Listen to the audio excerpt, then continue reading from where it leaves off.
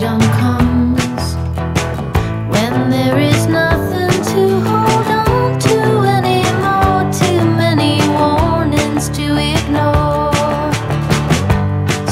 Denial, waiting again.